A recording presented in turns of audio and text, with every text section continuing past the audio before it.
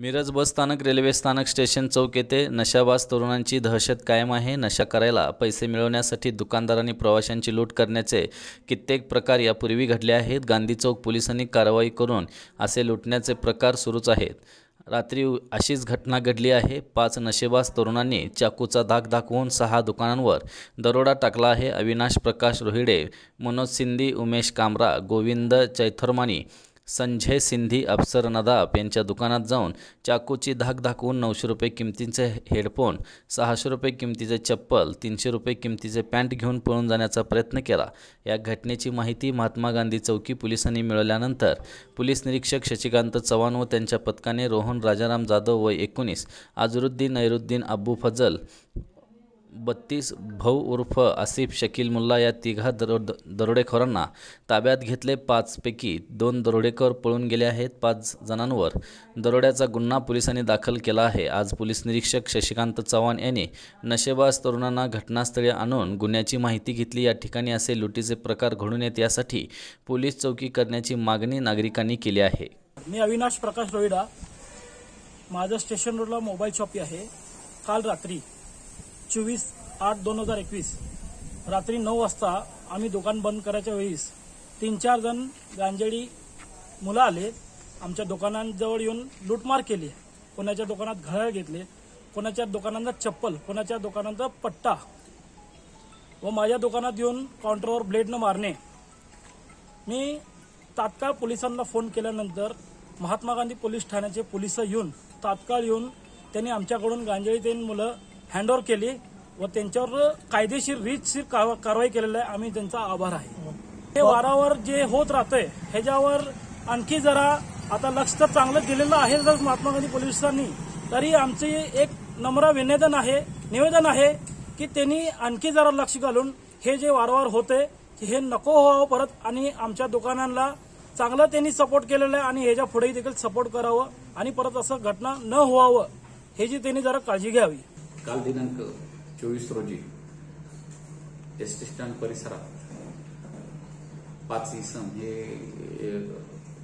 तेथील दुकानदाराकडून चाकूचा धाक वगैरे दाखवून आणि त्यांना दमदाटी करून मारहाण करून पैसे घेत असल्याची आम्हाला माहिती मिळाल्याने आमची टीम तिथं त्वरित गेली.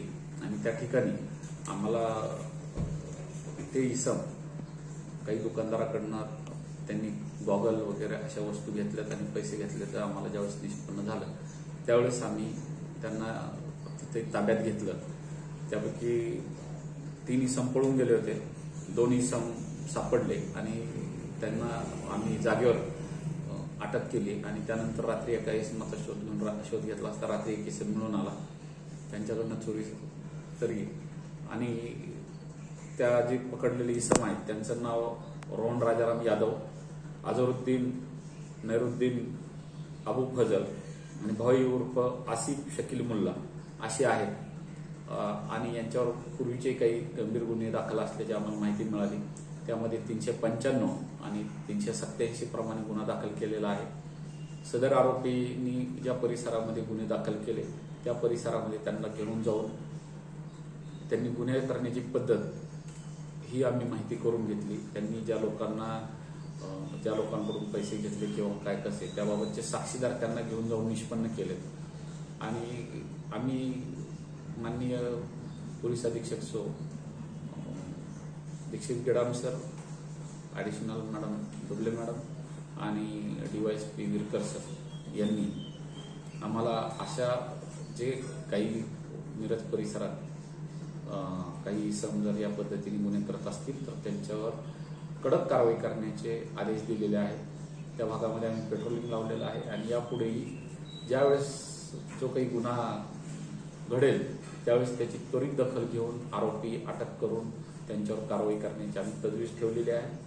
यामध्ये ज्या आरोपींवर दोन किंवा दोनपेक्षा जास्त गुन्हे दाखल आहेत त्यांना तडीपार करण्याकरताही आम्ही प्रयत्न करणार आहोत. आणि एक मिनिट. यातले काही लोक हे नशा करणारे असल्याचे निष्पन्न होत आहे. आणि त्या दृष्टीने यांना नशे करता ते पदार्थ कुठून मिळतात यासंबंधी आम्ही शोध घेत आहोत आणि त्यावरही लवकरच आम्ही